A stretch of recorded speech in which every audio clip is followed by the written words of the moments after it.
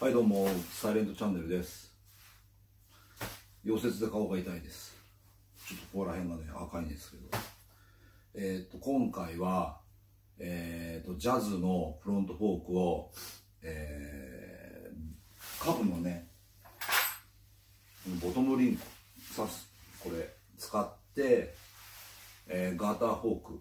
風なフロントフォークを作ろうと思ってます。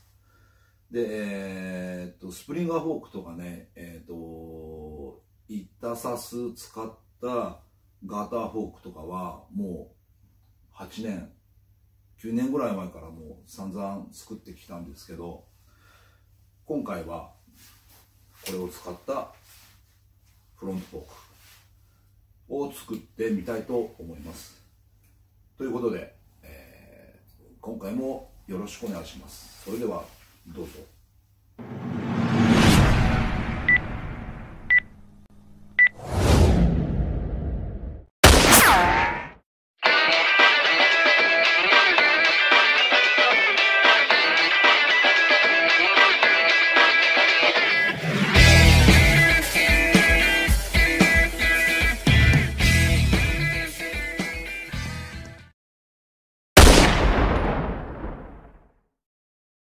で、えーっと、部品なんですが、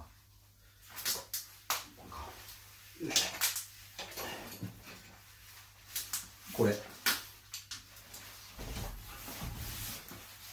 れね、多分、これは、TL50 のステムですね。で、ここがね、27パイ。なんで、えっ、20、20A、20A っていうパイプを使って作っていきます。ここにね、入れれるように。で、20A のパイプ、これですね、これ。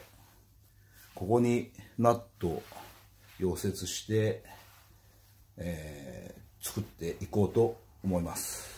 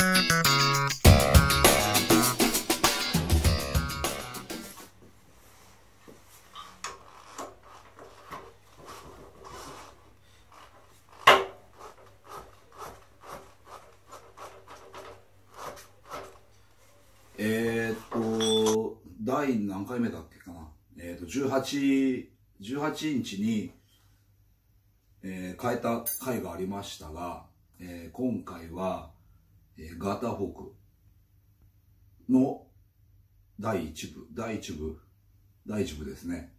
2回に分けてやりたいと思います。で、えーっと、18、前回18だったんですけど、今回は17。これですね。300。